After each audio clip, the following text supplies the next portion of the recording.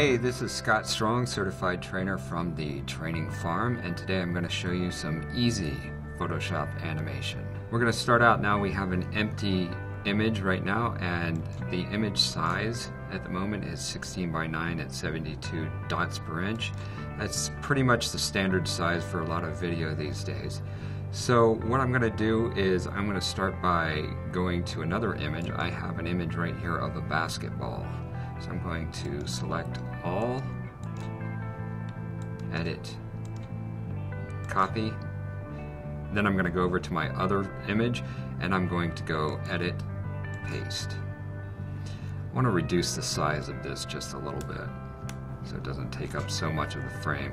And I do that with the move tool. Just hit apply. And I'm going to place the ball over here in the upper left. Next, what I'm going to do is I'm going to use my pen tool and I'm just going to draw out a little path to serve as a guide. So I'll click and drag, that sets an anchor point and gives me Bezier handles. The next time I click a point and drag, I get another set of handles. I'm running out of space here, so I'm just going to zoom out a little bit using Command minus on my keyboard. If I hold down Option on my keyboard and hover over one of the Bezier handles, you'll see that my pen turns into a little arrow. So I'm just going to grab that Bezier handle and move it over. That'll give me a corner with curves coming out of it. So next what I'll do is I'll set another point. And I need to zoom out again just a little bit, so I'm going to hit Command minus or Control minus on the Windows machines. Again, holding down Option, I'll get my pinched curve and then my last curve at the end. Next, what I want to do is I want to adjust these curves a little bit so I get a better bounce out of it. So I'm just going to stretch the Bezier handles a little bit. Until I get it adjusted into something that I like.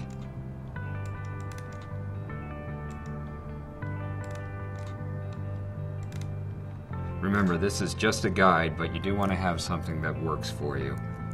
Now I'm going to zoom in.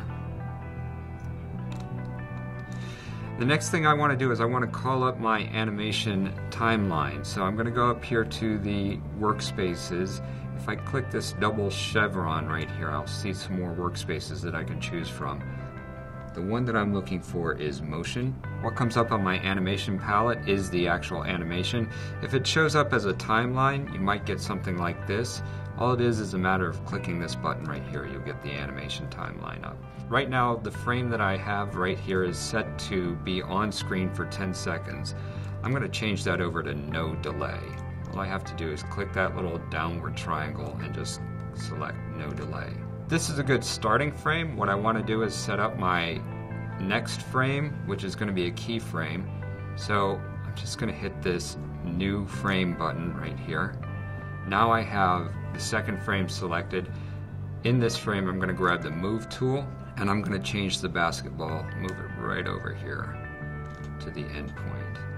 So I have frame one, and I think I'm actually going to move it slightly off screen, and frame two adjust back.